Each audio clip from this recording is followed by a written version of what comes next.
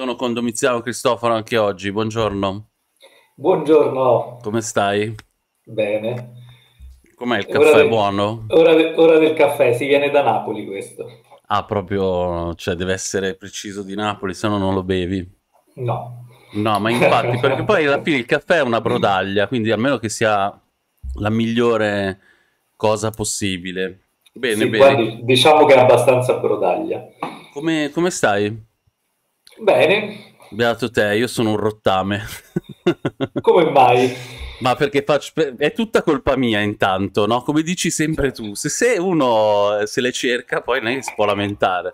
Quindi è sempre colpa mia. Ciao Hyperalbi. Intanto ti invito, Dom, a leggere i commenti in chat, così diventi più interactive. Eh? Con, con Sì. Twitch. Sì, E, e poi invito anche mm, quelli della chat se vogliono fare delle domande su qualsiasi cosa, ma proprio qualsiasi, giusto? Che ci Esatto. frega a noi, cioè. Tu che, che novità? Ciao ti- Champagne, ci mancherebbe che non dai del tu, perché le altre volte Davide e lei non me ne sono accorto, se no mi sarei offeso. ti, ti offendi perché fa, invecchia un po' troppo il dare del lei. Eh, sì, direi. Allora, una domanda di rito che ti farò sempre, quindi le prossime volte arrivi più preparato è... Hai visto qualche bel film in questi giorni? o? In questi giorni no, perché sto un pochino, ero, ero impegnato con il teatro. E... Bei film, poi ultimamente anche comunque no, perché non ne fanno, quindi... Dignitosi, Cioè, diciamo, film dignitosi, facciamo, ri- riformulo la domanda. No, se no c'ho quella di riserva. C'è qualche film che hai in programma, magari su una piattaforma al cinema, insomma, che hai in programma di vedere? No, guarda, di recente ho visto, eh, se vogliamo rimanere vagamente nel tema, diciamo, orrorifico, perché il regista ci si è, dime- come si dice, eh, dedicato, che è Jodorowsky, ho visto finalmente Poesia senza fine, che volevo vedere da molto tempo, perché in Italia praticamente non sono riuscito a vederlo quando, quando uscì al, al cinema, e poi quando uscì in DVD, insomma, era già periodo Covid, quindi io già mi ero trasferito e far arrivare dei DVD qua, insomma, è, è un po' complicato. Finalmente sono riuscito a trovare la versione spagnola e per chi non lo ha visto, insomma, lo, lo consiglio. È un Jodorowsky, un un poco minore rispetto, rispetto ad altri, alla potenza di altri film, tipo per esempio eh, Santa Sangre. Eh, però insomma c'è tutta la sua poetica, c'è tutta la sua forza, c'è un bellissimo messaggio, quindi quello è un film che sicuramente consiglio di vedere, anche se non è insomma un horror, però c'è sempre questo mondo un po' suo, e in alcuni punti mi ha ricordato anche il Fellini di Giulietta degli Spiriti, devo, devo dire. Sì, è molto autobiografico, praticamente c'è lui che fa se stesso. E, e, Anche- Sa- ehm, Santa Sangre lo, lo consideri un horror? o- Perché è un po' un misto di cose, no? Beh, c'è, c'è dell'horror sicuramente anche perché l'ha prodotto poi Salvatore Argento, quindi insomma diciamo che, che c'è sicuramente una componente la- nella scelta anche, anche musicale, nell'abbondanza di sangue. Non è chiaramente sempre un film definibile dentro un preciso eh, filone, eh, però insomma sicuramente non è, non è la parte orrorifica la sua, Certo. la sua forza, però diciamo che c'è, sicuramente ci sono varie scene ehm, che, che- che richiamano insomma Certo. Lo splatter, lo splatter argentiano, addirittura l'omicidio quello col coltello. Esatto, eh, esatto. sì. Io volevo farti notare come la mia chat può essere anche Sì. molto giovane perché Lore ha appena scritto so che andare via appena iscritto è brutto ma devo andare a fare i compiti quindi cioè questo ti fa capire quanto possiamo arrivare anche a, a giovani a, a nuove Sì. generazioni E del perché Champagne mi voleva dare del lei, insomma, giustamente. no ma Champagne non è così giovane cioè è giovane ma non- rispetto a noi però non è così Ah, ok. giovane Ah, ok. E allora, no. e allora perdoniamo. Poi un altro film invece horror che ho visto di recente che devo dire invece mi è piaciuto è eh, Hellraiser di Hulu. quello nuovo di- ah ok il- cavolo il non l'ho nuovo. visto Il nuovo e devo dire che mi ha sorpreso in eh, senso positivo. A me è, è piaciuto, lo, lo colloco direttamente al secondo posto, diciamo al primo, mettiamo il primo. Primo chiaramente. Metto- Ah, cavolo, metto- però per cui è una bella posizione, eh. Sì, sì, perché allora a me da- dal 2 in poi onestamente non è mai piaciuto. Diciamo che il secondo è un remake del primo, cioè una, è un po' un riciclo del primo, cioè semplicemente eh, nel primo risvegliamo lui, nel secondo risvegliamo Sì, lei, la storia insomma. produttiva non me la ricordo, però mm. è, un po come, un po' come in Halloween, no? Cioè, fa, famo altri soldi, no? Un po' il sì, però insomma, diciamo il 2 regge ancora perché mantiene lo spirito del primo, ma ne è una copia carbone al femminile che ce lo potevamo anche un po' risparmiare, però insomma diciamo che ha la sua dignità, però niente di che. Dal 3 in poi cade nel ridicolo perché questi demoni sono diventati un'espressione proprio delle idee più trash che ci potevano stare, tra l'altro in produzioni molto scadenti, cioè nel senso se i primi due film hanno avuto una produzione comunque economicamente discreta e anche una production design buona dagli effetti speciali, la fotografia eccetera, dal 3 in poi iniziamo a cadere proprio nel patetico eh, anche proprio con, con, effettacci scadenti, idee proprio che non si capisce perché l'hanno prodotte, se non per abbinare. Diciamo che il 5 è un buon film che palesemente non faceva parte di questa, di questa serie, cioè nel senso il 5 a me dà l'idea che era uno script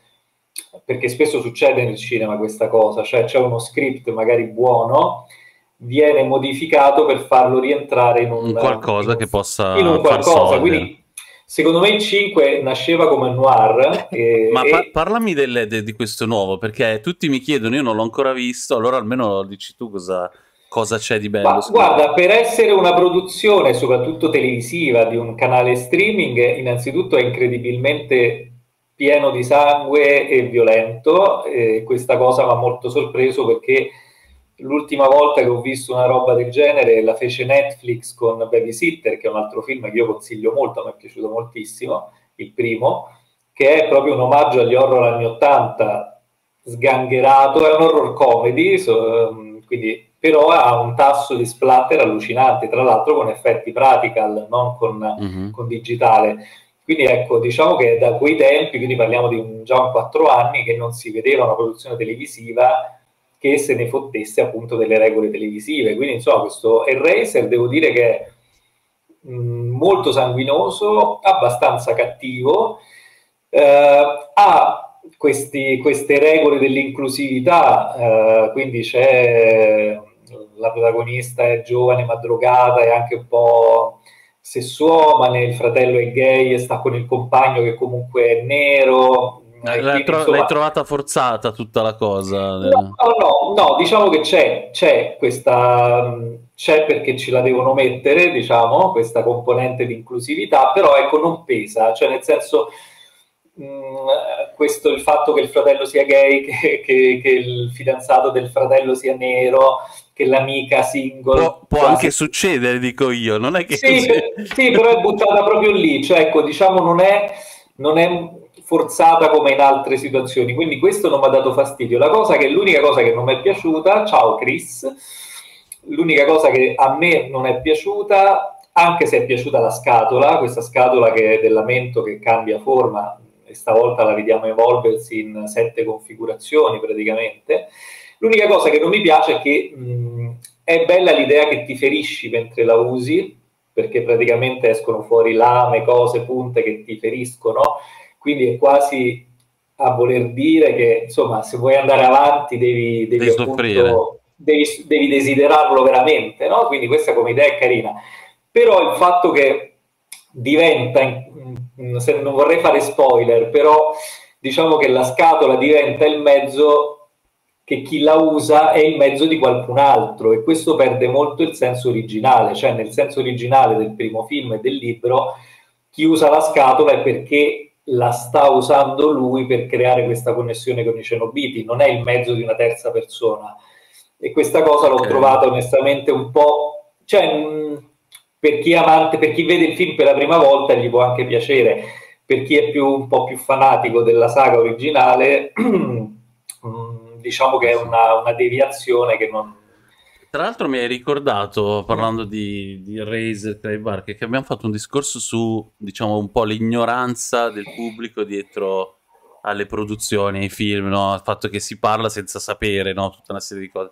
E mi è venuto in mente, non so se ricordi Event Horizon, il film sì. fantascientifico, c'è una scena di infernale dentro quel film che fu, uh, diciamo, etichettata come una scopiazzatura di Eraser, perché aveva queste... E, e io facendo poi la recensione, mi sono documentato, ho scoperto, effettivamente assomiglia a delle cose, ho scoperto che il regista consu- cioè, chiamò proprio Clive Barker per fare quella scena. Quindi in realtà cioè, quello che viene etichettato come una cosa negativa, cioè ah tu hai scopiazzato, in realtà è una chicca perché eh, aggiunge proprio un pezzettino di, di, idea, di stile creato proprio da Clive Barker. Sì, diciamo, diciamo che si leggono tante eh, stronzate. sì, eh, è come, sarebbe come dire che Alfred Hitchcock in Io ti salverò ha voluto copiare i quadri di Dalì nella sequenza onirica Ma senza sapere che quella sequenza l'ha realizzata insieme a Salvador Dalì. Esatto, cioè Quindi proprio le, le, ha anche costruite con il suo team, no, Dalì. Sì, ma io questa cosa, per esempio, ho letto addirittura spesso, ehm, tipo, ah, quello ha copiato Dario Argento, in questo film si copia Dario Argento e poi sono film, per esempio, che sono usciti molto prima uh, di, di, dei film di, di, Argento, per esempio. Quindi ha copiato Bava.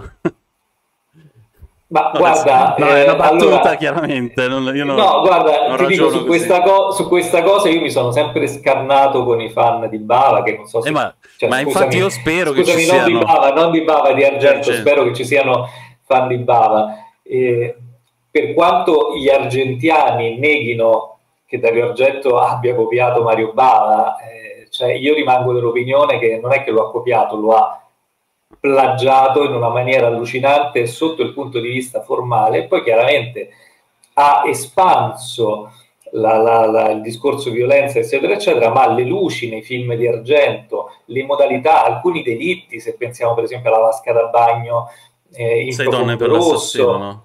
Cioè, sì, ci sono dei modus operandi che sono comunque presi pari passo. Fortemente ispirato, si potrebbe anche, per essere generosi, sì, dici. Sì, e questa cosa di negare sempre le, le ispirazioni di altri, cioè non è che, che, è negativo. Ricordiamoci che, per esempio, Federico Fellini, e quindi non è che stiamo parlando dell'ultimo degli stronzi, copiò Mario Bava per la bambina con la palla che appare eh, in Toby Dammit. Cioè... Eh, non è che Mario Bava eh, lo ha aiutato o, o, ha partecipato a Toby Dermit. Fellini vide eh, Operazione Paura e riprese quella figura della bambina per utilizzarla come immagine del demonio in Toby Dermit. E mh, c'è un racconto che fecero di, di quando ci fu la prima, Mario Bava era lì e parlò con Giulietta Masina perché si disse molto addolorato del non essere neanche citato. E la Masina gli rispose, sai com'è Federico? No, a volte è certo. così. Quindi voglio dire, le copie le fanno anche i grandi, o se addirittura vogliamo... Abbiamo parlato anche una... di De Palma, no? Che comunque ha assorbito ha... tantissimo, però ha anche aggiunto. De Palma ha omaggiato, per esempio, facendo una omaggiato o copiato, chi lo sa, eh, diciamo omaggiato, ehm, aspetta, quello che in inglese si chiama il caso de, dell'iris, in Italia si chiama eh, quelle strane gocce di sangue del, sul corpo di Jennifer con eh, di Vigi Fenech, di Martino, no, no, non è di Martino, è di Carnimeo. E la scena dell'omicidio nell'ascensore di questo film è praticamente identica ah, okay. nel look nel look, l'ascensore, lo stile, come è vestita eh, Nancy Allen, è praticamente uguale all'omicidio che sta in Vestito per uccidere. Quindi, per quanto molti dicono De Palma si è ispirato... Mi ripeti il film? Hai detto gocce di sangue su... Perché quelle strane gocce di sangue sul corpo di Jennifer? Il titolo lunghi... C'era sì. la moda dei titoli lunghissimi su italiano. Sì, con David Fenech di Giuliano Carnimeo, che è un ottimo giallo, tipico nello stile di quell'epoca, Carmimeo poi ci regala, non si sa come, ci ha regalato dopo quella roba tipo Ratman, eh, che, che, non si sa che gli ha preso, però insomma diciamo che invece negli anni 70 faceva dei bei gialli.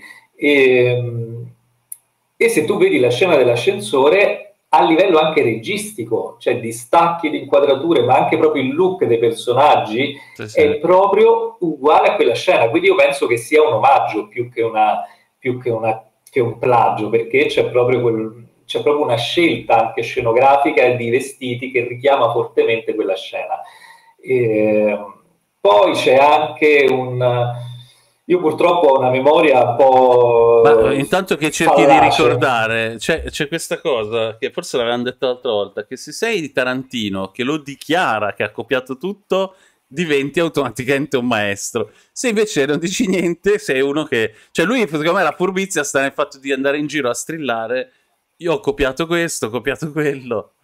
Ma sai, il, um, ma lui non è che poi Tarantino copia, diciamo che anche lì assorbe, ripropone eh, a modo suo, eh, però ecco, ha una conoscenza del cinema italiano che bisogna dire molto più alta di quella di tanti fan, di tanti critici e di tanti registi italiani, questo bisogna dire. Mia sicuramente.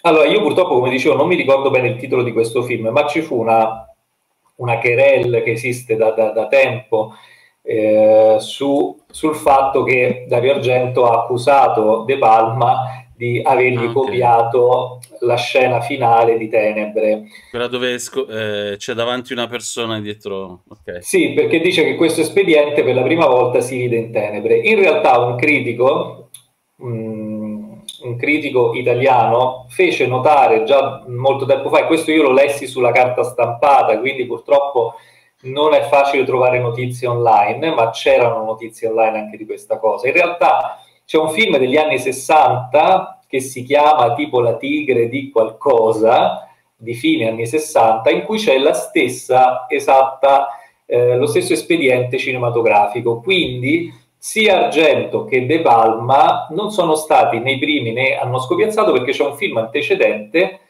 che ha questo stesso espediente narrativo. Quindi se De Palma ha copiato Argento, Argento ha copiato quest'altro film. E chissà, semplici- e chissà quanto si può andare indietro. Sì, o semplicemente eh, è un'idea che... che può che venire anche a più persone, tra l'altro. Sì, voglio dire, non è il discorso delle prospettive, non è che se l'ha inventate Dario Argento, insomma, quindi... Ehm, che tra l'altro poi ho trovato sempre di pessimo gusto perché questa cosa dell'argento ce l'ha sempre, ce l'ha sempre avuta, di, di, stare sempre a accusare o a criticare i colleghi, ha massacrato Fulci, spentendosene solo poi quando Fulci stava in fin di vita cercando di farsi perdonare tutto il male che gli ha fatto, parlandone sempre male alle spalle e non solo.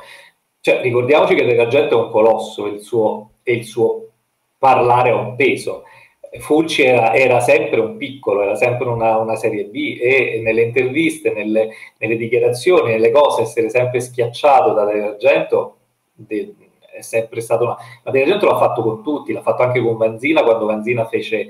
Eh, sotto il vestito ma che poi la metto su youtube non voglio, di... non voglio ricevere come si dice. Guarda Argento noi ci siamo scontrati e dico noi non perché sono al plurale maestatis ma con un, un gruppetto di indipendenti. Poi se vuoi ti racconterò di questo festival di Courmayeur di qualche anno fa che è il Festival del Noir, è uno dei festival più importanti che ci sono in Italia, insomma, eh, eravamo ospiti con vari, vari, registi indipendenti e c'era Dario Argento Padrino. Io se vuoi ti posso raccontare un po' di siparietti di quello che accade lì e gli scontri che ci sono stati. Fatto sta che comunque, insomma, diciamo che, che di minchiate ne ha dette e, e, ce ne siamo comunque sempre dissociati. Ti ripeto, io separo la, l'artista dalla da, da, dalla persona, però ecco, trovo che questo accanimento verso registi minori che comunque fanno qualcosa di buono, quando, quando uscì sotto il vestito niente, Argento rispose tornasse a fare la commedia a Vanzina, che è una cosa orribile, perché invece Vanzina con sotto il vestito niente ha dimostrato che al di fuori della commediaccia sapeva proprio invece gestire una, una, pellicola che tra l'altro... Sì, forse è l'unico rimane... film ricor- cioè, veramente ricordato quello, no? Tra l'altro. E, Perché gli altri sono tra... proprio commediole da quattro soldi. Ma sì, ma Vanzina ha sempre detto che faceva cinema per i soldi, non gliene fregava sì, una mazza sì. dell'altro. Quindi... No, dire, sembra quasi una cosa territoriale, no? Cioè, non è, è mio horror... Sì, sì, ma tra l'altro chiunque ama per esempio De Palma come me e, e, conosce quindi bene il cinema di De Palma e le musiche e tutto quanto, Vanzina non ha assolutamente copiato Argento in quel film, ha omaggiato vestito, eh, scusami, omicidio a luci rosse di De Palma. la regia di Vanzina in Vestito per uccidere è totalmente depalmiana al punto che addirittura le musiche in, in sotto il vestito Donaggio, niente vorrei dire sì, okay. sì, sì, sotto il vestito niente le musiche di Sotto il vestito niente anche sono di Pino Donaggio che plagia se stesso in diciamo, eh, Omicidio a luci rosse quindi non era assolutamente un omaggio argentiano era un omaggio a De Palma totalmente totalmente e, Argent- e ha fatto un ottimo, ottimi incassi ha fatto grande successo e Argento gli ha roduto parecchio, come quando gli rodeva di, di, dei film di Fulci. Eh, Fulci con Zombie 2 ha fatto uno dei pilastri dell'horror di, allontanandosi totalmente Beh, da quello che era lo zombie argentiano, che poi ricordiamoci lo zombie argentiano non esiste, nel senso che Argento ha preso un film già fatto da eh, e l'ha Romero, rimontato. lo ha rimontato, rimusicato, ripresentato, quindi gli ha dato questo grande lancio, ma in realtà non è che è un, il prodotto di, di, Romero era anche abbastanza differente, oggi si trovano Blu-ray con entrambe le versioni, quindi voglio dire, anche lì diciamo che lui ha rimanipolato l'opera di un altro. E Fulci sì, si è aggiunto al filone zombesco, ma lo ha fatto in una maniera totalmente personale. Non c'entra niente il, il, non c'è la critica sociale, non c'è eh, il centro commerciale, non ci sono i biker, cioè riandiamo nelle radici del voodoo addirittura, quindi voglio dire, ha fatto proprio una roba sua, sì, come sì. molti ca- film cannibalistici che hanno seguito l'onda, nessuno ha accusato Lenzi di mettersi sulla coda di Deodato o viceversa perché non si è ancora capito bene o male chi ha fatto il primo, e tutti quelli che ne sono venuti dopo. Non c'è stata questa guerra, ma questa guerra l'ha sempre fatta Argento che quando c'era un buon prodotto ha sempre sparlato per, per smontarlo. Io mi ricordo un'intervista che fece Argento quando già Fulci stava male, stava sul viale del tramonto. Questa intervista si trova su YouTube, quindi non è che sono io a dire cose negative. Gli chiedono che cosa salverebbe dei film di Fulci, se c'è qualcosa che gli piace, lui risponde: Sì, i film con Franco e Ciccio sono molto belli. Se io. Mm, sei, sei incazzato un po', ti è risalito qualche... Cioè, sì, perché, perché, non, battaglia, perché, perché mi l'hai anticipato, si... c'è una battaglia no, da anni su questa cosa. Sì, ma non si, non si fa, cioè non si sì, fa sì. perché hai minimizzato eh, decenni di storia del cinema neutralizzandola in una parola. Cioè, quindi, sì, i film con Franco e Ciccio di Fulci sono buoni, l'unica roba buona che ha fatto. E Sette Note in Nero?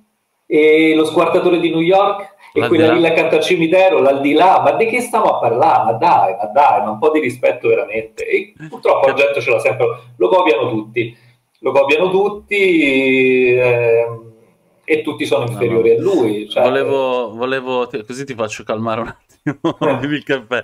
Volevo rispondere a Champagne che mi dice, sì. chiedi a, a a Domiziano di... di no, no, ne... lo leggo, lo leggo, ma non so chi è Giancazzo. No, ma ti spiego io, poi, poi voglio, fare, voglio invitare anche Champagne ad alzare un po' il livello. Cioè, ma secondo te, Champagne, possiamo chiedergli cosa, cosa, ne pensa di un signor nessuno che commenta sul web che Suspiria non è un, un bel film? Cioè, ah, vabbè. Beh, infatti, no, questo, no, ma, ma questo mi, Suspiria no, innanzitutto. Il fatto è che io stando tanto su Suspiria, quello di, di Argento, eh, eh, stando tanto sul web, chiaramente arrivano anche dei content per ridere, per divertirsi, no? Però ecco, questo mi apre, mi apre un tema, no? Perché questo ragazzo qua che ha 70 views va in giro a dissare i film, no? Quindi ha fatto un video dove dissa praticamente tutti i film più, più diciamo, consolidati come, come capolavori e cult dell'horror. Eh, e ieri parlavo del fatto che chi, secondo me chi non sa, non sa parlare di cinema eh, trova più facile cercare di fare il provocatore, andare a, a dire delle cose eh, aberranti come appunto che grandi sì, film non sono grandi.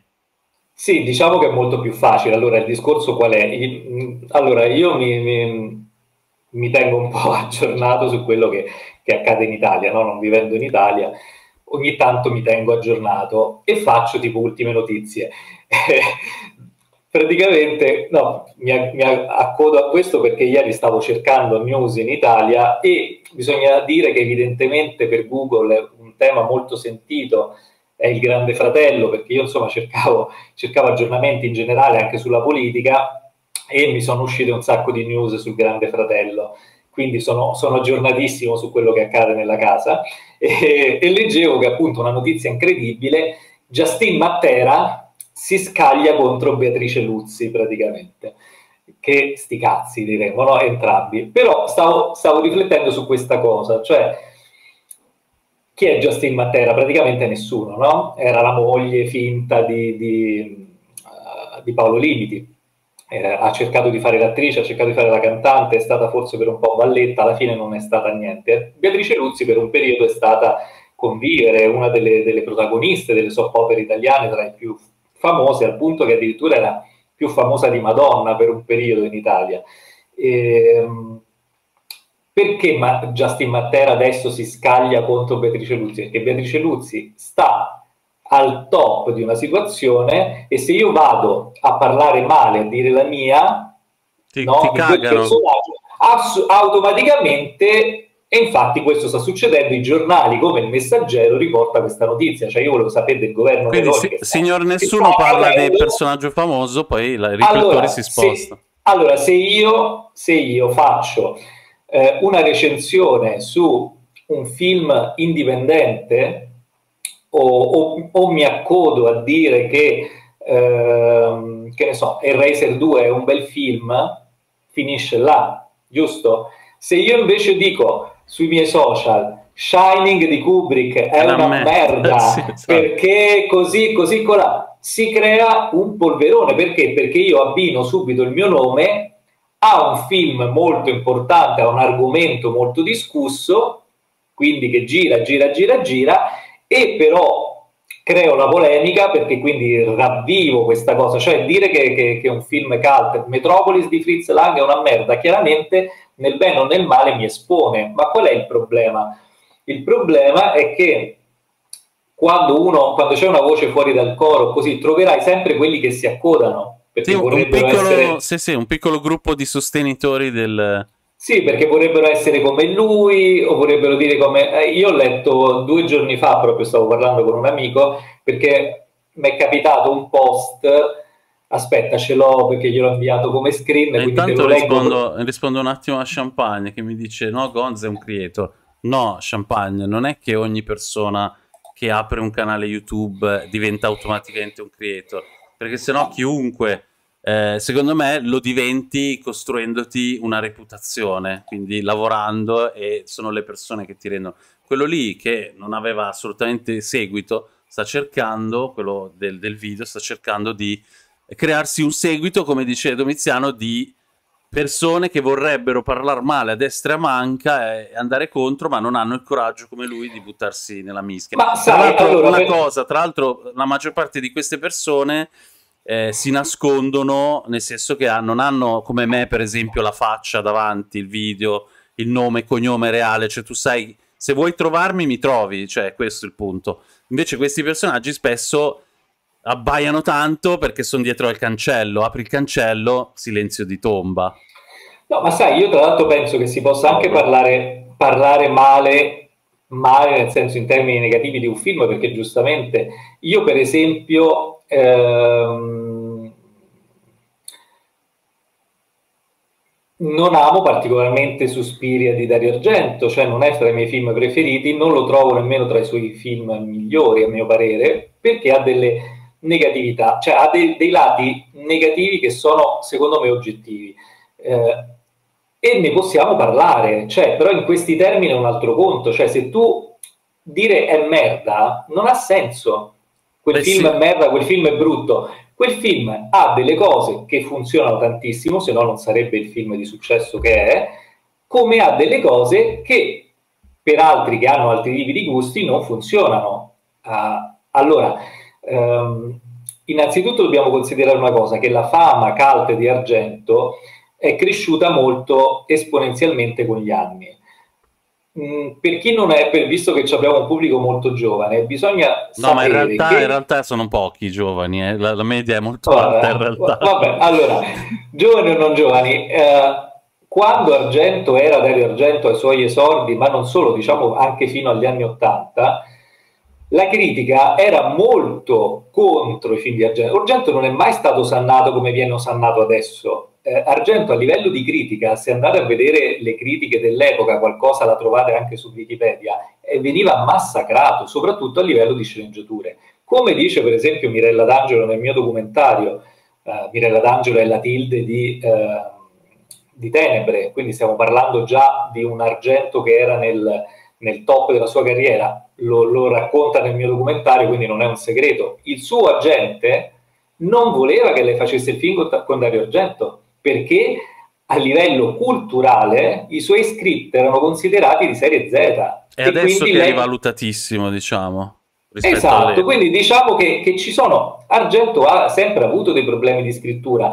Per esempio, non dimentichiamoci che eh, Suspiria nasceva come film teen, cioè doveva essere interpretato da giovanissime. Questa cosa poi per qualche motivo non, non è accaduto e quindi queste giovanissime sono diventate donne abbastanza adulte, direi, perché non, non è che abbiamo persone sotto i 24 anni in quel film, quindi diciamo che cominciano a essere ragazze, alcune quasi donne, come la protagonista, no? non, era, non era proprio una ragazzina, però hanno mantenuto i discorsi da bambine che facevano, si fanno le linguacce, si fanno le, i dispetti, quella cosa serpente, serpente, eh, che è un po' imbarazzante, cioè diciamo che, che, a livello di scrittura... Richiedeva un adattamento, dici? Beh, Beh sì, sì, sì, poi che se la, se la riscatta tutta Però vedi, questa, di... questa non è, questo non è dire fa schifo, eh, questo è semplicemente far notare una cosa che secondo te Ma, poteva essere fatta per, in modo diverso. Per, ovviamente per un mio gusto eh, e anche per esempio io ho odiato, e questo lo odio proprio, il finale. Non so se conosce, qualcuno conosce Fermi tutti, scusa, dobbiamo di nuovo ringraziare Gioba che è arrivato con 39 persone. Ciao a tutti, io sono il Gonz, questo è un canale di cinema Ciao. e lui è Domiziano Cristoforo, regista eh, di cinema horror indipendente estremo, performers e tantissime altre cose. Stiamo parlando di Dario Argento. Scusami se ti ho interrotto. No, tranquillo. No, dicevo, non, ho, non, ho, non amo tuttora questo finale del alla Buster Keaton che, che, con la protagonista che ogni volta che sta scappando dal, dalla scuola di danza in Grazie, fiamme Gianni. passa regolarmente davanti a una finestra, la finestra sta per esplodere e lei fa questo. E lo fa 3-4 volte nel finale, cioè ogni volta che passa davanti a una finestra succede questo, tic esplode la finestra, tic esplode diciamo una volta era pure abbastanza, diciamo la seconda, eh, l'ho trovata abbastanza ridicola come, come messa in scena. Ehm, sì, guarda, poi molti adesso hanno, è diventata anche santa Daria Nicolodi, rispondendo a Chris. Parliamo male anche della Nicolodi, no, poverina. Non l'ho, non l'ho, io personalmente non l'ho mai trovata sta grande attrice, cioè, eh, diciamo che ha fatto una, una presenza efficace nel, nel, film televisivo di Bava della Venere di Ille, eh, l'ho trovata molto in parte in shock di Mario Bava, ma Mario Bava è un grandissimo regista, quindi sappiamo che eh, un bravo regista può far recitare bene anche i cani, cioè, pensiamo a Citto Maselli che ha fatto recitare eh, la, Ornella Muti, quindi insomma voglio dire, o, o, o Ricci che ha fatto recitare Teresa, eh, Serena Grandi in Teresa, insomma diciamo che in mano a, a bravi registi gli attori possono anche dare grandi sorprese, come, come, in mano a pessimi registi, grandi attori hanno fatto prove pessime. Però Asia Argento eh. è brava. Sì. Dai, se, ti sto facendo un po' il troll. Eh, Asia Argento, sto... è brava, Asia Argento è brava in La Chiesa di Soavi. Io lo dico sempre, mai, quando era piccola era visto. brava. Quando era piccola era brava. Ma più che altro l'ha diretta qualcun altro. Eh, allora, parliamoci, parliamo di una cosa, cioè torniamo alla, un attimo alla Nicolodi ha fatto l'unico film di Petri dove recita male, dove fa il ruolo di una prostituta, tra l'altro romana, lei non è né l'uno né l'altro e si sente e si vede.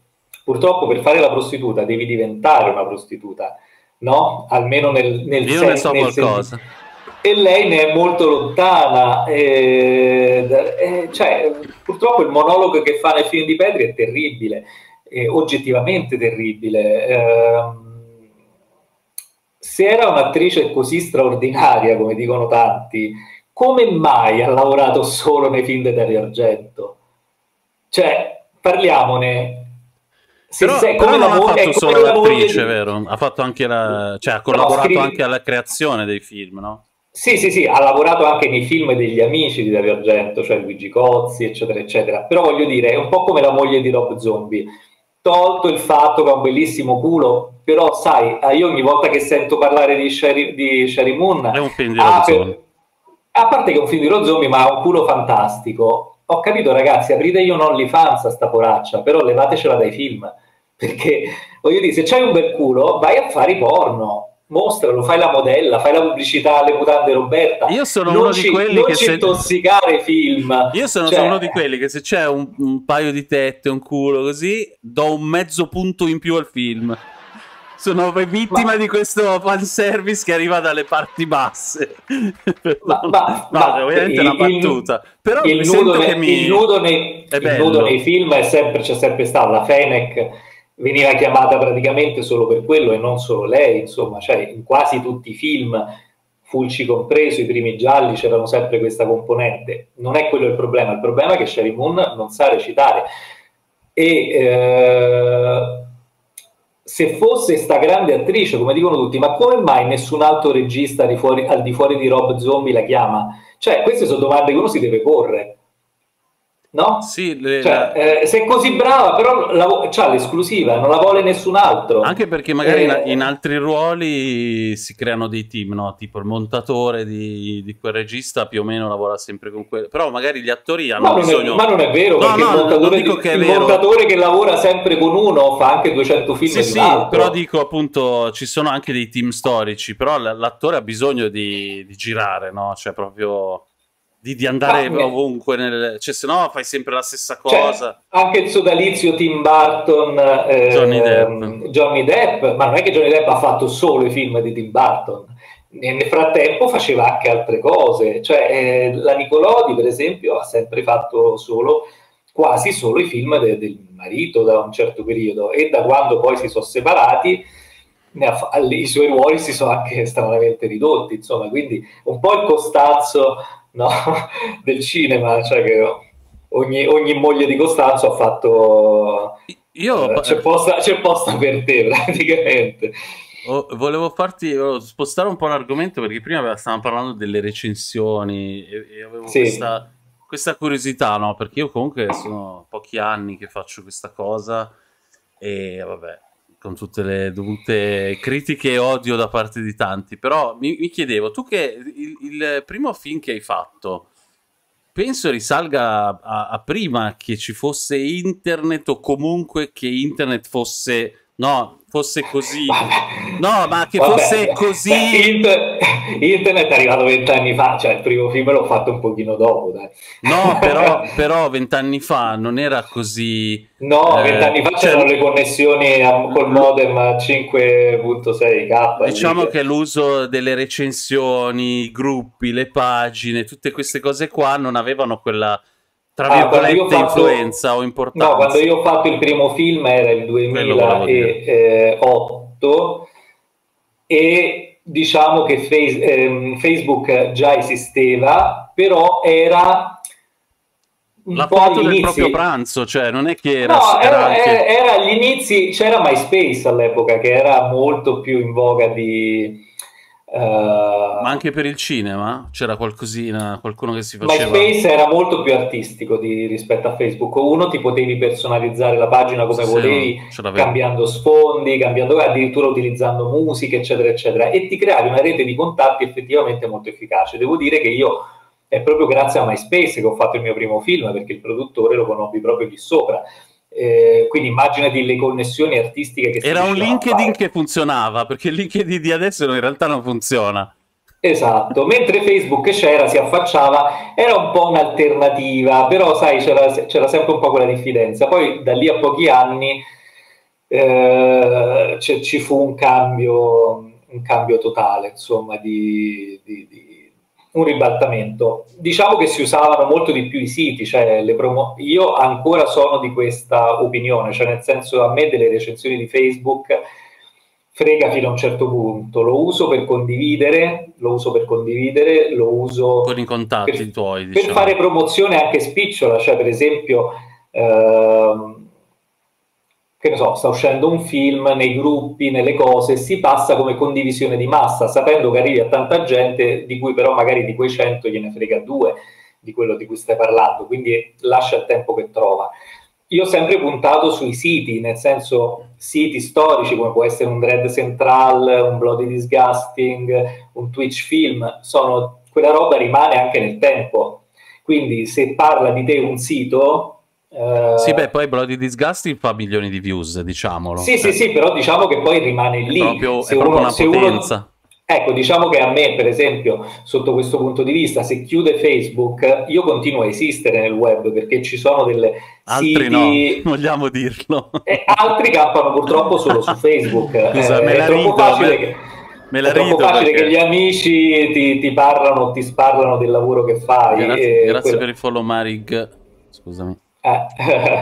eh, quindi, quindi, quello. No, eh, mi fa però... ridere perché colgo la palla per riderci un po' su, cioè se chiude, cioè, certa gente proprio sparita. No, tra l'altro non voglio, visto che sto leggendo un po' di, di, di commenti, vai, vai, non, voglio, non, voglio, non, voglio, passare per quello che attacca Nicolotti a tutti i costi, per esempio in, in Inferno a me piace molto, ripeto, in Shock di Mario Bava funziona benissimo Bisogna essere oggettivi che la sua apparizione, per esempio, in Terza Madre, oltre che tutto Terza Madre è un disastro, ma anche la sua apparizione è abbastanza patetica, eh, come per esempio purtroppo è imbarazzante tutta la sua performance in eh, Fenomena, cioè addirittura nella parte finale riesce a far recitare male anche Jennifer Connelly, perché loro, la loro accoppiata nel finale è un, è un crescendo di overacting che, che, sfiora quasi la parodia.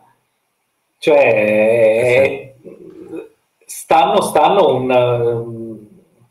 Certo. È, overact, è, overacting, è assolutamente overacting. Tra l'altro lei si è costruita un personaggio che, che, che è anche quasi sempre lo stesso nei film, quindi difficile, la vedi sempre molto ieratica, molto formale, che però lo riadatta quel tipo di personaggio che forse la rispecchia in, in un sacco di altri film, quindi non, non, vedi mai effettivamente una trasformazione eccessiva, anche in questa sua compostezza che mantiene per esempio anche in Paganini Horror, eh, che, che, insomma eh, non a caso è considerato un capolavoro del trash, eh, lo si deve anche alle performance attoriali, insomma, dove dove tutti sono fuori luogo. Quindi, certo. insomma, voglio dire, non è che dobbiamo per forza sempre tendere lance. Io amo, per esempio, Fulci, è il regista che amo forse di più a livello nell'horror. Riconosco che Fulci ha fatto dei film brutti, cioè eh, ci sono dei film di Fulci che, che, io trovo brutti, ridicoli, da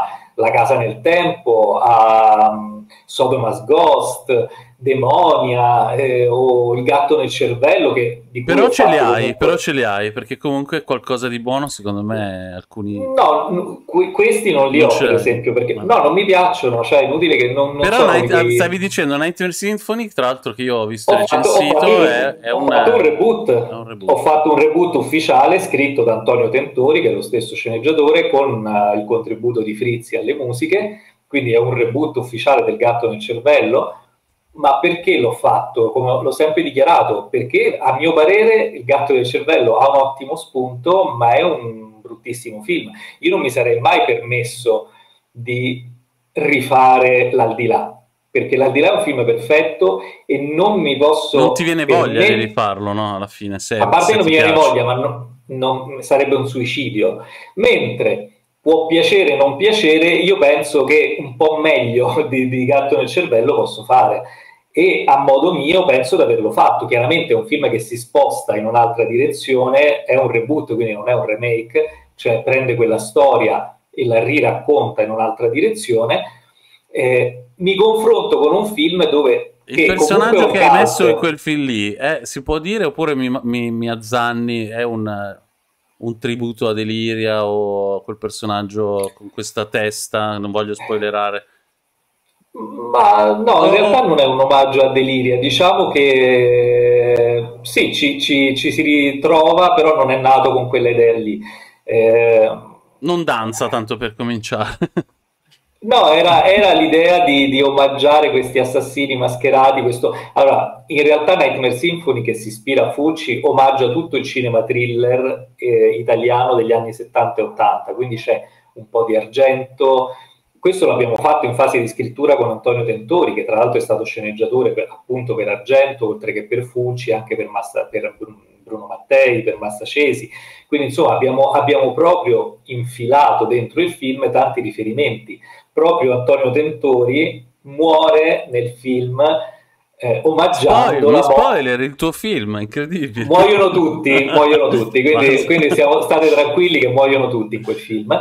Eh, muore nella maniera in cui muore eh, Ania Peroni nel, in Tenebre, in, ingozzato con la sceneggiatura, del, con la sua stessa sì, quello è chiaramente un, un tributo. C'è, quindi c'è un omaggio ad, ad Dario Argento, ci sono omaggi appunto a Fulci, ci sono omaggi a Martino, quindi vuole omaggiare un po' tutto il cinema degli anni 70, quindi anche il filone dei gialli con gli animali, no?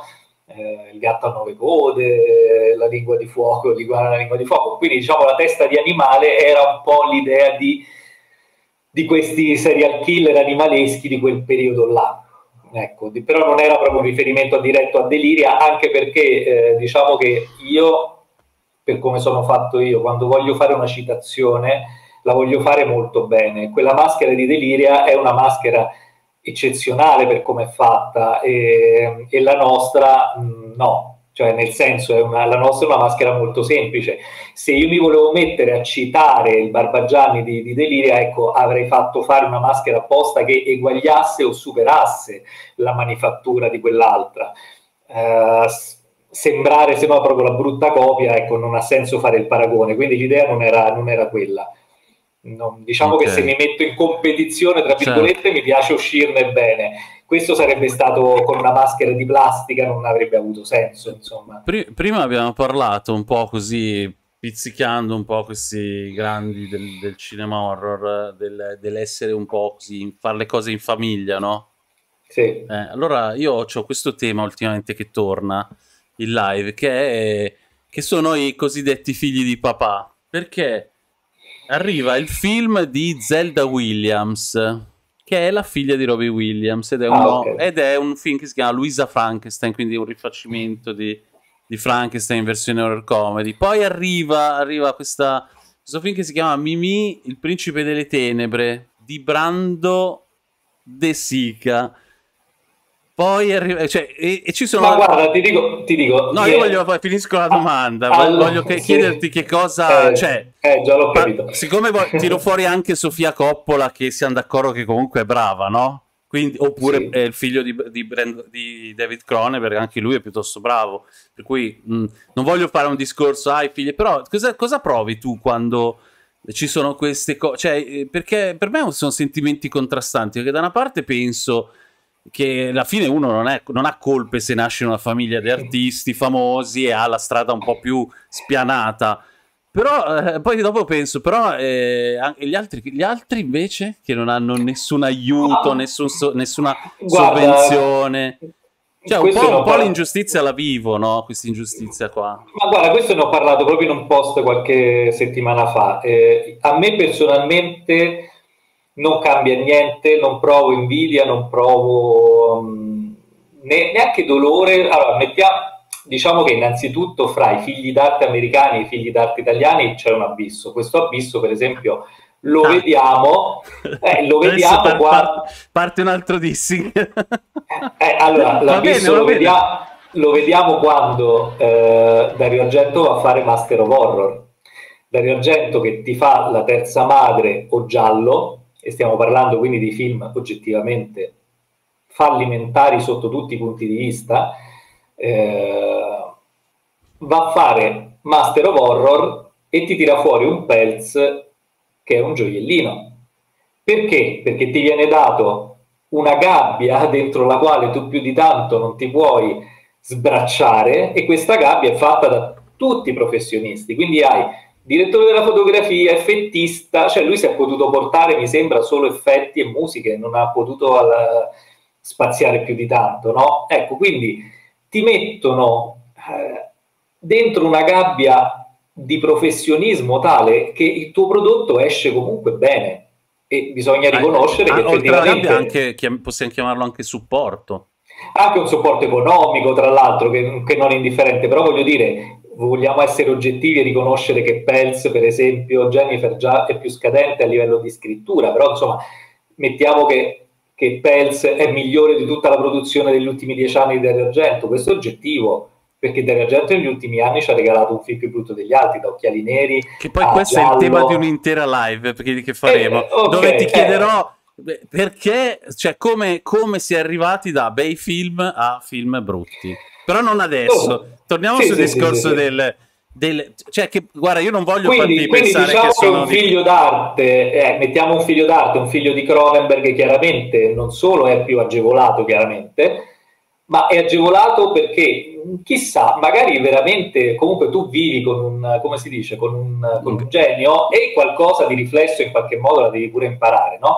e, e poi hai un nome che frutta, quindi il produttore, chiaramente chi, a chi do i soldi? A Domiziano Cristoforo che ha un bel progetto o al figlio di Cronenberg che ha un progettino mm, che però lo posso migliorare e mi porta pubblico? Lo diamo al figlio di Cronenberg chiaramente, perché mi tira Quindi già dissing tutta... anche al figlio di Cronenberg. No, no, no, sto scherzando. No, no, sto, piace. sto solo cercando di portare eh. visibilità a queste live. Sto scherzando. no, dico quindi. Ecco, diciamo che chiaramente è un investimento più sicuro per un produttore, no?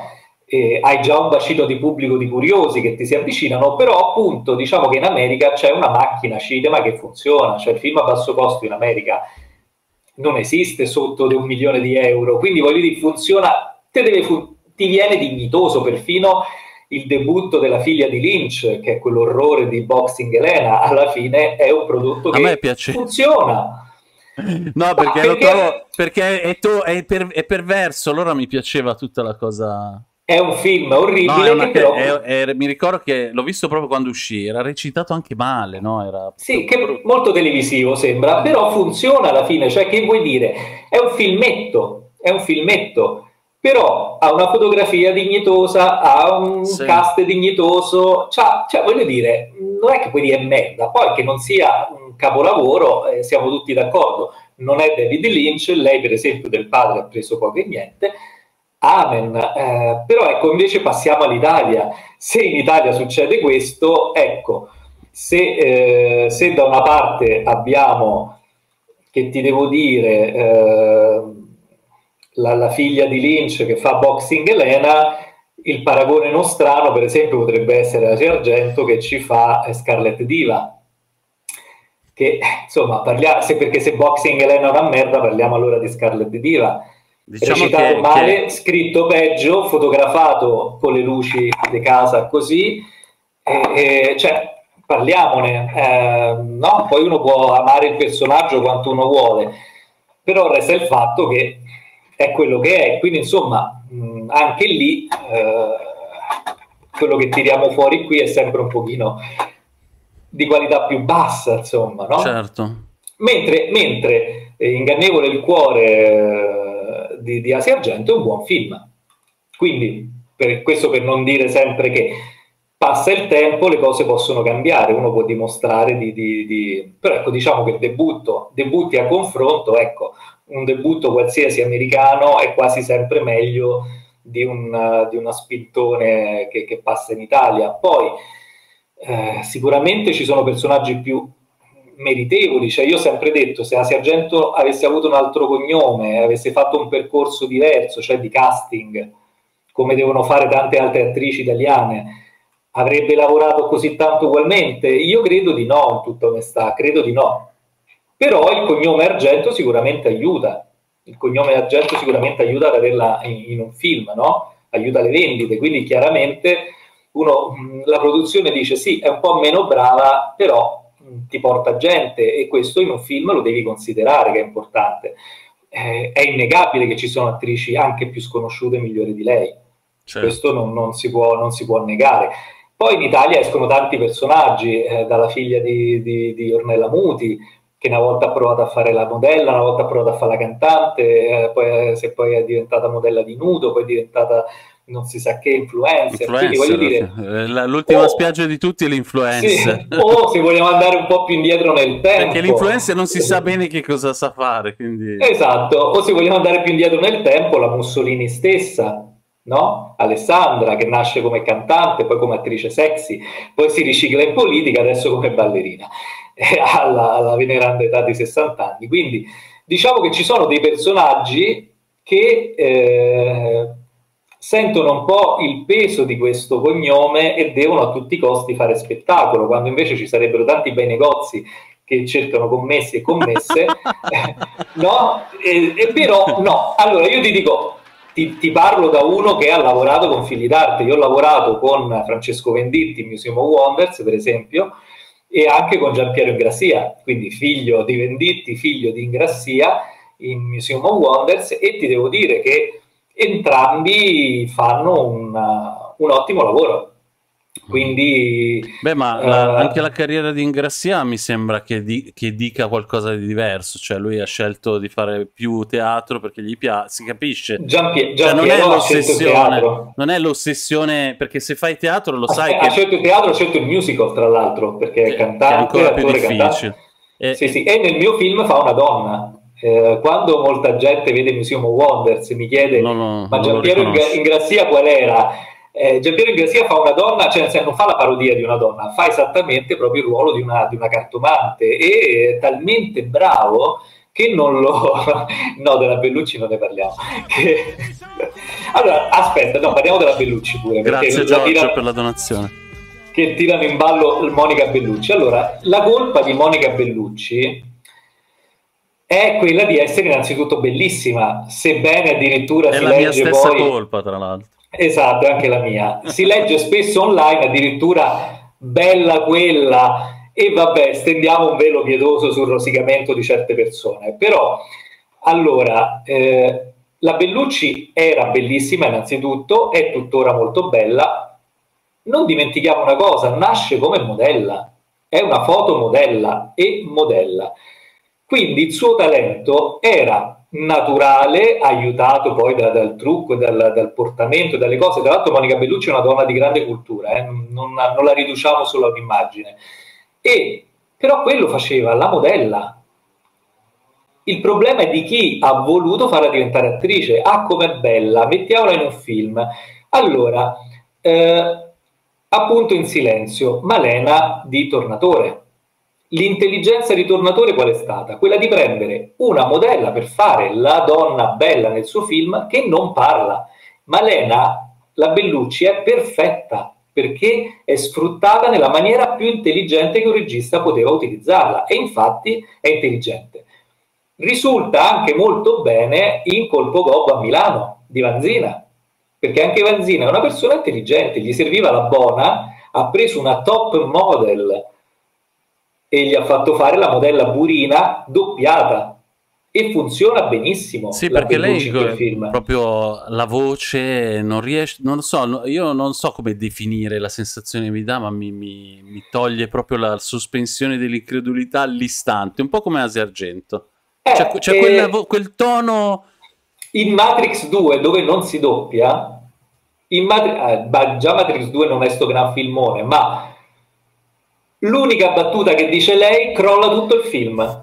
Cioè lei, lei una parola dice. Cioè, nel senso film. che anche nel film si rendono conto di essere dentro una matrice. No, Tutti ti smonta, ah, allora non può essere la realtà. Ti smonta il Matrix sì, quando sì. arriva e ti dice basciami come basci lei. è, è, fi- è finito il film, è finito il film. No, no Vabbè, io Dra- tanto anche in Dracula di Coppola voglio più, imitazio- cioè. voglio più imitazioni, eh, per favore, perché sono, perché sono arricchiscono queste live, ti vengono bene. Tra l'altro, visto che nominano Dracula di Coppola, e, vabbè, Dracula di Coppola ovviamente non parla, lei fa, fa la bella vampira, che non, non, si può dire che non le viene bene. Una di quelle, attri- una di quelle tre era un'altra attrice italiana, mh, di cui adesso non mi viene il nome, che io eh, io ho lavorato anche in produzione, cioè come in produzione, cioè dietro le quinte, per, per, per produzioni grandi. Eh, lei venne a fare un provino eh, per un film, una, de, una, delle tre vampire. Allora, una era Domiziana Giordano, se non erro, eh, l'altra era Monica Bellucci e la terza, non mi viene adesso il nome, lo possiamo googlare, lei venne a fare un provino e ti dico, eh, in quel provino tra l'altro venne anche a farlo Beatrice Luzzi, era il periodo di vivere, quindi diciamo che abbiamo visto delle cose assurde in quei provini, che ancora ce le raccontiamo per, per ridere. E arriva questa che, che, che faceva appunto sti film action in America, piccole parti così, con tre pagine di copione a memoria, che si prendeva le pause per rispondere, che ti guardava negli occhi. Cioè, e tu vedi il metodo americano, l'actor studio, il livello di, degli attori che hanno studiato all'estero, il livello dei nostri. Il livello dei nostri che tu hai, il provino è tipo, che ore sono? Le 5? Ah, grazie. No, allora c'è quello che ti dà la battuta, che ore sono? Le 5? Questi sono i provini italiani per la maggior parte, cioè sanno a memoria la battuta e te la dicono così. Cioè questa per dirti, sai che ore sono? Le 5. Cioè guardo l'ora, assimilo la domanda, ti guardo, ti rispondo come sarebbe nella vita, no? I tuoi tempi, le tue... Le pause, sì sì. È un altro, altro livello, ragazzi, veramente. Eh, prima di, cam- che... cambiare argomento, però c'è da dire che in, in uh, Irreversibile, eh, nella scena dello stupro, eh, insomma, funziona. Sì, no? sì, sì, ma anche lì, insomma, sì, sì. Ma diciamo, lei purtroppo... Non, non parla, allora, urla, discorso... la verità, che è brutto da dire. No, eh, sì, ma sai, non è, ti ripeto, non è un'attrice, il problema è sempre di chi ci mette i personaggi eh, a fare... C'erano attrici migliori per fare quel ruolo? Belle? Sicuramente io, io sì. ho l'idea che a un certo punto lei era veramente spaventata e quindi ma, più che recitare praticamente è stata travolta dall'emozione di paura e, e, si è lasciata andare in quella cosa lì. Cioè, troppo, troppo realistica. Ma sicuramente è stata anche diretta bene, cioè stiamo parlando di un regista e non di un improvvisato. Ti ripeto, sono tante le situazioni che stanno dietro i film. E, e il problema, ti ripeto, è sempre quello. Attri- non c'era una Charlize Theron che poteva fare la sua parte in Matrix 2? Ovviamente sì, che magari brava, alla Theron... Eh, appunto, bella e brava. Evidentemente alla Theron non gliene fregava una mazza o comunque loro preferivano avere la modella. Eh, non, tutto lì, però eh, la colpa non è di lei, cioè nel senso se a me dessero eh, dei soldi, eh, per, perché sono nato così, eh, vado a fare quello che vuoi. Cioè, uh-huh. perché lei dovrebbe dire no, io sono modella, scusatemi, Matrix 2 non lo venga a fare, perché non so recitare, sono solo modella e sti cazzi, cioè ci vado pure io per tutti i soldi che ti danno, no? Cioè, su questo non bisogna essere ipocriti. La, il problema è magari più chi la chiama che chi accetta una proposta di lavoro. Sì, allora, Bonzo, mi sa che... No, io sto parlando allora di Van Helsing, il film. Barzo, Barzo.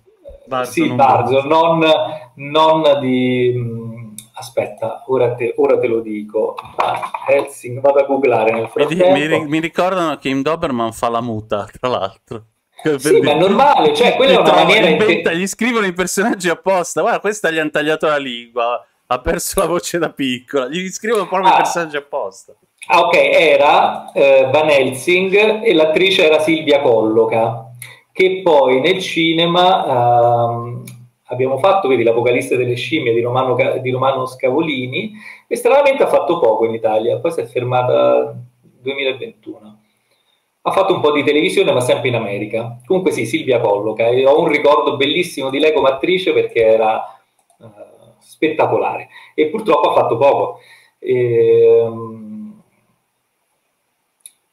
tornando, diciamo, al, alla Bellucci, eh, ripeto, per me il problema è di, chi, è di chi ce li mette certi personaggi a fare determinate cose, perché una chance è giusto darla a chiunque. Per esempio ho visto degli spezzoni di film del film di, della Cortellesi e sembra per esempio molto interessante. C- Chiaramente la Cortellesi ha avuto una, una, via preferenziale rispetto ad altri registi che presentano dei progetti, no? perché nasce come attrice, come comica, come cantante e riesce ad avere i fondi per fare un'opera prima, però effettivamente C'è... non sembra assolutamente male questo film, quindi alla fine perché no? no? C'è, c'è un tema che mi hai fatto venire in mente perché abbiamo parlato del fatto che comunque lei è, è bella, ma anche la Cortellesi per, per, è bella comunque, non è sì, proprio... Ma anche Monica Vitti era bellissima eppure faceva che, sempre la brutta. Quello che film. mi è venuto in mente è che, che invece nei tuoi film no, la bellezza sì. è qualcosa di... Mm, non così con, diciamo allineato con quello che è lo standard, cioè nel senso che Secondo me non, tu non, non, eh, non scegli gli attori, in, gli attori, in, base a quanto sono belli, come fa il cinema comunemente, no? Cioè hai scelto, attori, hai scelto attori comunque anche che possono essere con dei fisici normalissimi e un aspetto molto... Beh, dipende, dipende, nel, nel senso che eh, io sono sempre stato eh, dell'opinione eh, rispetto per esempio al cinema indipendente, no? Uh, allora, quello che dicevamo l'altra volta, il cinema indipendente non è un cinema sfigato o un cinema amatoriale, è un cinema che vuole essere indipendente dall'industria eh, e quindi muoversi su altri discorsi. Io vedo spesso nei film indipendenti dei miei colleghi, e questo lo dico proprio senza problemi, quasi tutti, per esempio nei ruoli sexy o nei ruoli della bella ci mettono la moglie, la fidanzata o le amiche che sono oggettivamente tutto tranne che delle bellezze. Poi che Barbara Streisand faccia la sexy nei film, come per esempio nel Principe delle Maree, e faccia perdere la testa a tutti. Ma Barbara Streisand è una, oltre che essere un'attrice, anche una sex symbol nella sua bruttezza, aveva il suo sì. fascino. Ecco, qui parliamo di gente che non ha né fascino né capacità attoriali, né storia, né niente, semplicemente sono la moglie, la fidanzata, l'amica del regista e vengo tirata dentro a fare per esempio un ruolo sexy. Ecco, io su questo sono sempre stato contrario. Io nei miei film non ho mai messo amiche, cioè nel senso eh, quando avevo bisogno della, della, sexy, come per esempio in uh, Hide Secret Nightmare, che è un porno horror, o eh, Transparent Woman, che è un giallo che omaggia i film di, di, di gialli degli anni 70, dove la componente doccia era fondamentale, io ho preso la pornostar Roberta Gemma, non ho preso un'amica, cioè ho messo da parte il denaro per potermi permettere quella che è una bellezza. Non la conosco, eh, non la conosco. Nessuno, non la conosce nessuno e non è la figlia di Giuliano Mai sentita Gemma. nominare. e soprattutto non è la figlia di Giuliano Gemma, come molti pensavano. Tra, tra l'altro all'inizio lei si chiamava Roberta Missoni, ha dovuto cambiare nome perché Missoni, Missoni gli proprio... ha fatto causa sì, sì, la maison di cioè, moda... Come possono farti causa se è il tuo cognome? No, no, no, no era, era, un, era, un, nome d'arte, chiaramente. Ah, era d'arte, chiama... okay, okay. Sì, non si chiama né Roberta né, né, né, Gemma. Diciamo che è il nome d'arte da pornostar. Eh, diciamo che, sai, c'era Sofia Gucci, no? C'era... Erano finiti gli stilisti e allora ha preso... No, cioè, ha beccato l'unico che, che, gli ha un po' roduto, non gli ha fatto causa, gli ha chiesto se poteva cambiare cognome. E poi Missioni, perché... è, il meno, il Missioni è il meno porno dei, dei, degli stilisti, secondo me, no?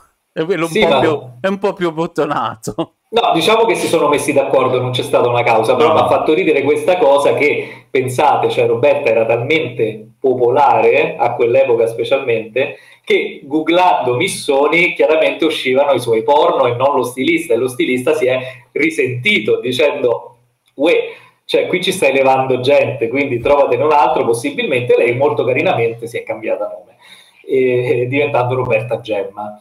E, al di là di questo, quindi all'epoca mi dicevano pure, ah, ma quindi hai lavorato con la figlia di Missoni, quello che fa i vestiti. Io dicevo, no, io lavoro con quella che i vestiti se li leva, che, che, è, una, che è, un'altra. E, e, praticamente, vabbè, diciamo anche nel mio primo film, uh, House of Flash Mannequins, uh, la protagonista è uh, Irena Hoffman, che nel film precedente era la compagna vampira di, di Christophe Lambert in Metamorphosis e nonché top model a, a, Los Angeles, nonché Miss Bulgaria e Bulgaria, cioè il suo paese d'origine. Quindi quando mi servivano le belle io ho sempre puntato sulla bellezza oggettiva o, o anche come in, in, film come Doll Syndrome. Eh, bisogna dire che Tiziano Cella è statuario perché io volevo proprio un personaggio che contrastasse con quanto fa schifo poi il personaggio, quindi mi piaceva l'idea che questo nudo fosse oggettivamente statuario abbinato poi a tutte le cose disgustose che invece questa persona fisicamente fa, creare questo cortocircuito. Però ecco, deve essere ragionato, non sono una persona che mette la bella a caso. Beh, o... il, il, cinema mainstream, eh, soprattutto quello americano, sono anni che per qualsiasi ruolo il gelataio sempre comunque persone belle. Cioè c'ha un, ma, un po' questa tendenza... Ma, però c'è, un, c'è, una differenza, che anche il modello americano... Grazie anche l'attoruccio, anche l'attorino, l'attorino americano, bello, belloccio, recita bene, bisogna dire di sì cioè, se vogliamo tutte le critiche che vuoi. Anche perché il... partono prestissimo, no? Loro per dire recitano al liceo. Tanti allora... hanno, hanno la, il corso, come si dice, il laboratorio di teatro al liceo. Quindi, tipo in prima sì. superiore, che vuol dire avere 13-14 anni, so, sono già sotto a affrontare un pubblico, a imparare a recitare. E lì poi Ma si scopre se questo. gli piace, no?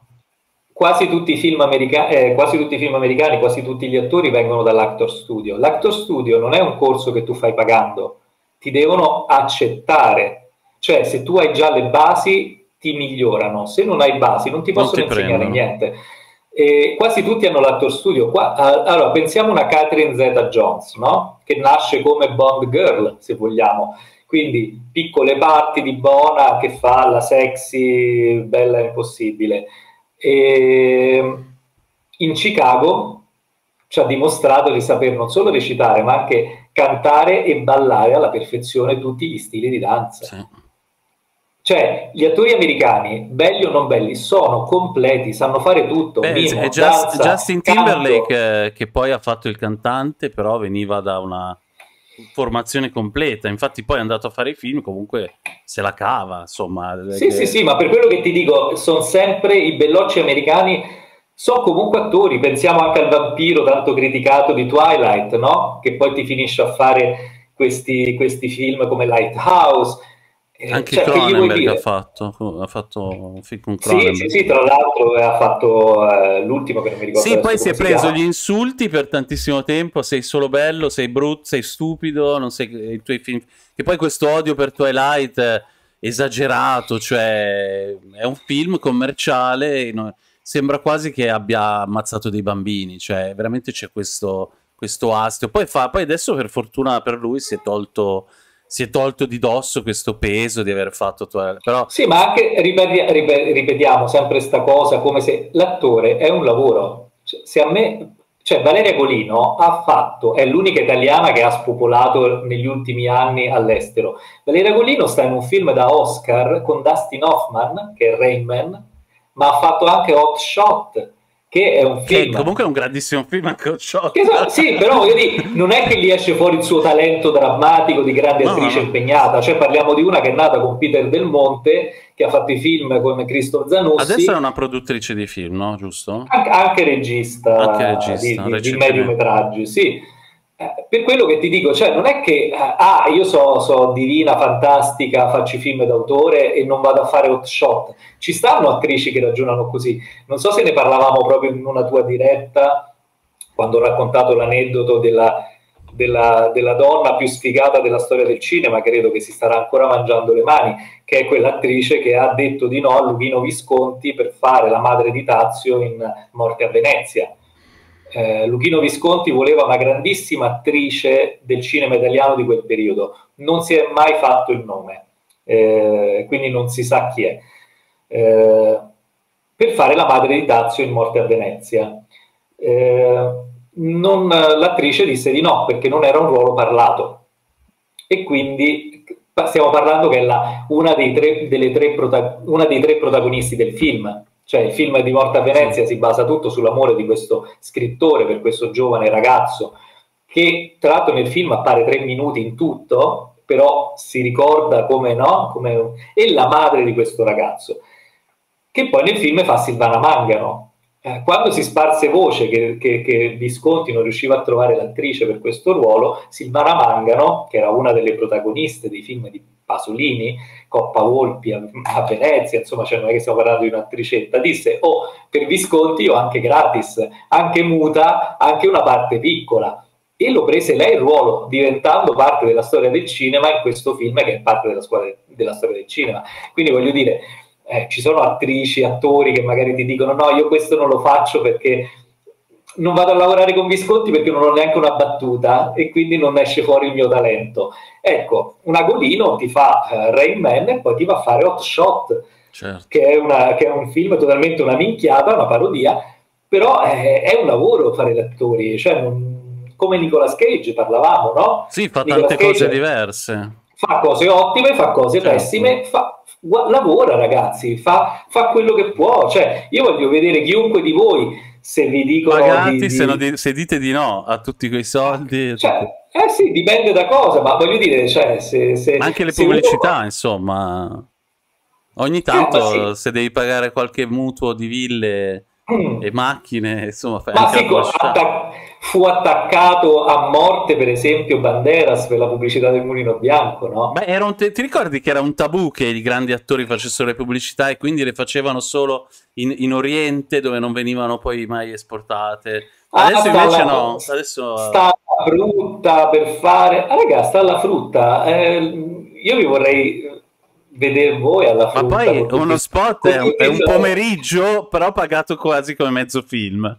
No. Tra l'altro, tra l'altro non, dimentichiamo, non, dimentichiamo, che molti spot che, che, molti non sanno sono diretti da grandi registi, cioè eh, ulti, eh, io nell'ultimo periodo che parlavo con Diodato, per esempio, Diodato stava facendo le pubblicità per la Guardia di Finanza, cioè erano spot interni al, al circuito, quindi non erano, cioè, però la stava lavorando per la, per la, cioè, per la Guardia di Finanza.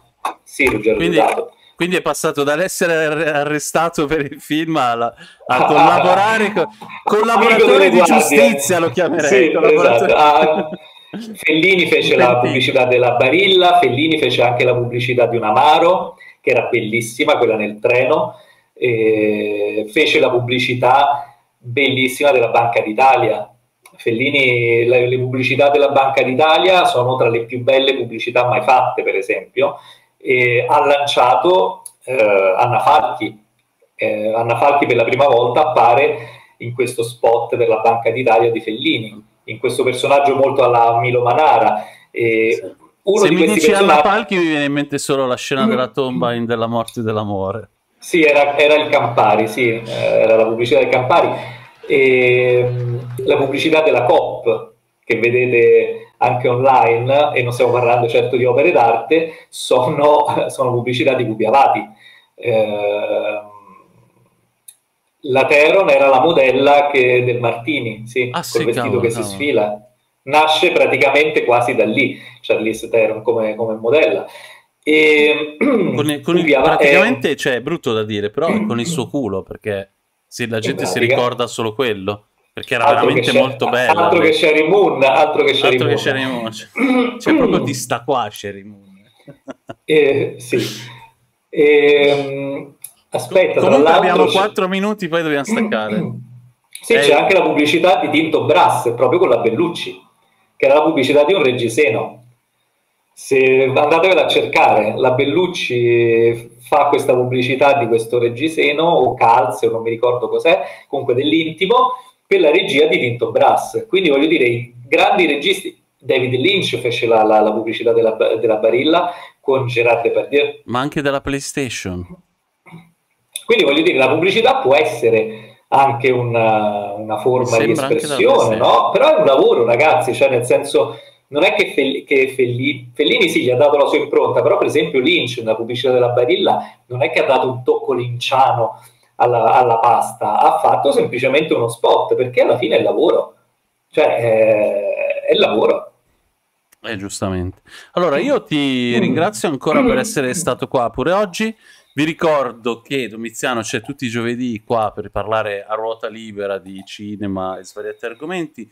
Poi, eh, Dom, ti invito, magari se ne hai voglia, anche eh, a, a, se, se, proviamo anche a introdurre un po' il mondo del cinema eh, horror estremo, perché sì. tu sei un grande conoscitore e a me piacerebbe, siccome io ho un pubblico che comunque non è molto vicino a questo genere di film, mi piacerebbe che le persone potessero scoprire quanto comunque dietro a questi film ci sono, cioè non sono film, eh, cioè c'è, c'è, tanto pregiudizio no? nell'horror, ma c'è tanto pregiudizio anche per i film estremi, come se fossero solo fatti per vedere cose perverse o torbide, no? Però in realtà ci sono, in tanti film estremi ci sono tanti temi interessanti, quindi se ti va poi... Sì, no?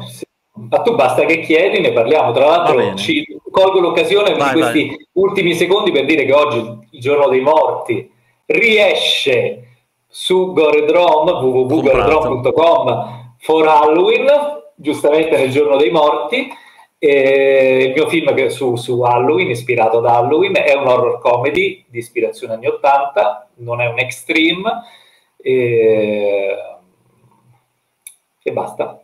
Così, Compranda, sì, uh, uh, Gord- Gordrom, adesso sono due i siti che, che, distribuiscono, giusto? Uno è Gordrom e uno è Tetro. Tetro Video è una label che fa anche produzioni Goredrom anche, però Goredrom è una sottolabel di Tetro Video eh, rivende anche film di terzi, è un negozio a tutti gli effetti e diciamo spazia su, su generi anche differenti, mentre Teto Video si focalizza un pochino di più sull'horror estremo. Comunque vi invito a farvi un giro, poi chiaramente se non riconoscete trovate qualche mia recensione, non, non tutte, però qualche, qualche recensione l'ho fatta, poi potete venire in live e chiedere del film che vi incuriosisce, prima di magari comprarlo venite qua e chiedete così se ne parla, eh, perché comunque è un genere, è un genere che ha un, una sua importanza, ma non ha, diciamo, come sappiamo, non è così in vista perché è un genere difficile. E, e venite tutti su YouTube sotto, sotto, il link di questa live a difendermi dagli attacchi degli argentiani che si scateneranno